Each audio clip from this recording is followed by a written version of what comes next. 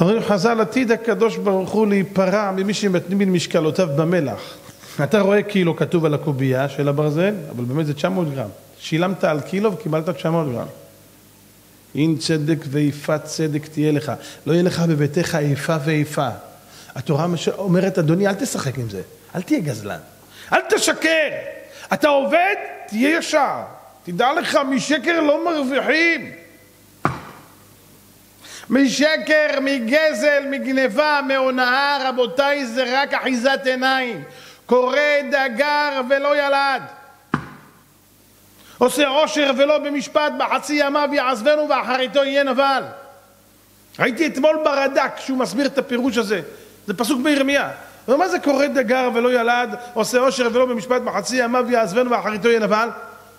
הוא אומר, קורא דגר, יש עוף שקוראים לו דגר. יש עוף שקוראים לו קורא. הקורא הזה, אין לו ילדים, מה הוא עושה? הוא לוקח, הוא רואה קן של עוף אחר, הוא מגרש אותו, והוא יושב על הביצים שלו, מחמם אותם ויוצא לו אפרוחים. עכשיו, כולם בטוחים זה הילדים שלו, אבל זה לא הילדים שלו. קורא דגר ולא ילד.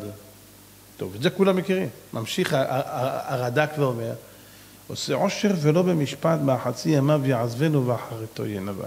אומר, בדיוק כמו העוף, אותו דבר. העוף הזה, נכון עכשיו שהילדים קטנים, הוא דוגר עליהם, אז בסדר, אז הוא מבסוט, הוא יושב על הביצים של מישהו אחר, הוא, הוא, הוא משתמש במשהו שלא שייך לו. אומר הרד"ק, זה בסדר עכשיו, כשהילדים יגדלו והם יכירו שזה לא הוא, הם פשוט יפרחו ממנו. אומר, עושה עושר ולא במשפט, גם הוא לוקח כסף של מישהו אחר ומתהדר בו, בחצי ימיו יעזבנו העושר, מכיוון שהוא לא בא ממך, הוא יעזוב אותך, באחריתו יהיה נבל, באחריתו יהיה נבל. אבל זה הסבר אחד. הסבר שני אומר, בחצי ימיו יעזבנו? לא, לא העושר יעזוב אותו, הוא יעזוב את העושר.